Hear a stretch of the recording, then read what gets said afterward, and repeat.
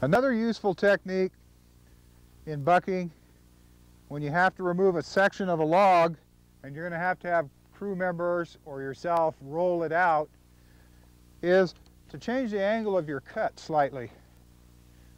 If you cut both angles at 90 degrees, chances are as it starts to pivot it's going to bind.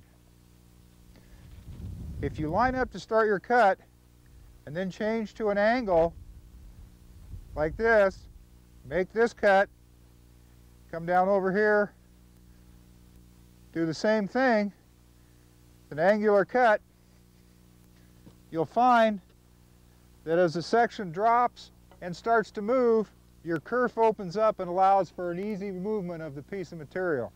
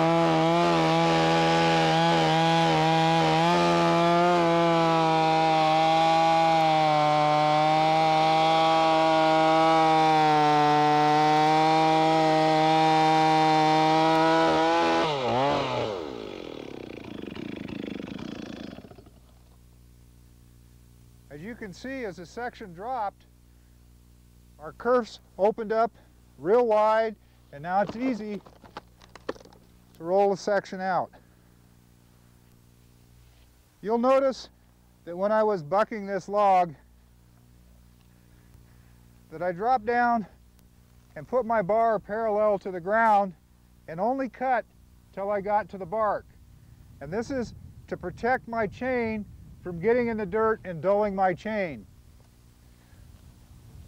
If you stand up like this and you can't see your tip, it's difficult at times to keep from getting your chain in the dirt and dulling your chain. So a technique is to get parallel when you have room underneath and only cut to the bark.